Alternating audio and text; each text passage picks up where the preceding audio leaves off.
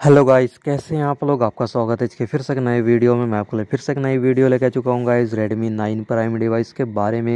And कैसे इसके अपना टॉपिक होने लगा गाइस वो है हेडफोन साउंड इफ़ेक्ट के बारे में अपन बात करेंगे।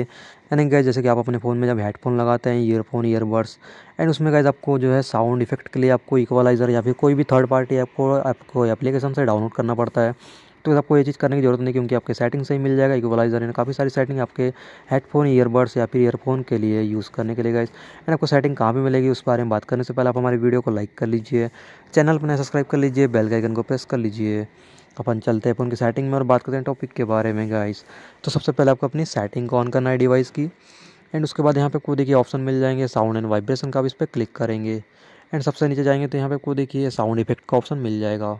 एंड गज यहाँ पे आप पढ़ सकते हैं, देखिए एडजस्ट साउंड टू ईयरफोन यानी कि ये सिर्फली जो है ईयरफोन पे ही काम करता है। एंड यहाँ पर देखिए इक्वलाइजर का ऑप्शन मिल जाएगा। हेडफोन पे ऑप्शन पे आपको वॉल्यूम लेवल पे क्लिक कर देना है। असिस्टेंट बटन सारे कुछ ऑप्शन गाइज़ आपको कब मिलेंगे? जब आप अपने फ़ोन में जो है हेडफोन को कनेक्ट करेंगे।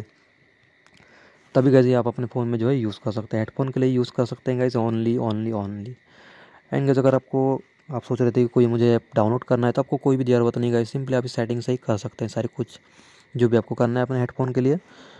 तो इस प्रकार की सेटिंग के लिए हमारे वीडियो को लाइक कर लीजिए। चैनल को सब्सक्राइब कर लीजिए, मैं आपसे मिलता हूँ आपसे नेक्स्ट वीडियो में नए टॉपिक के साथ, तब तक ले बाय